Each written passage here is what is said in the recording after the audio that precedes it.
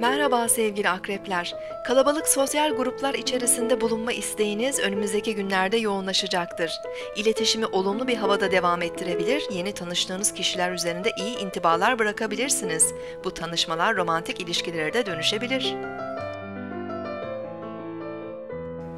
Bugün 5 Haziran 2014 Perşembe, Jüpiter günündeyiz. Başak Burcu'nda ilerleyen ay, iş, hizmet, çalışma, hijyen ve sağlık konularına dikkat çekiyor.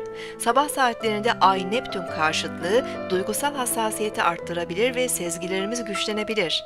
Ancak fazla hayal kurabilir, gerçeklerden uzaklaşabiliriz. Ay Venüs arasında oluşacak üçgen açı, sanatsal yaratıcılığı ve romantizmi arttırabilir.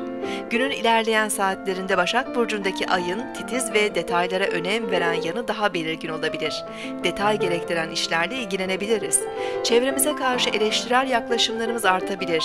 İlişkilerimizde dengeli davranmalıyız.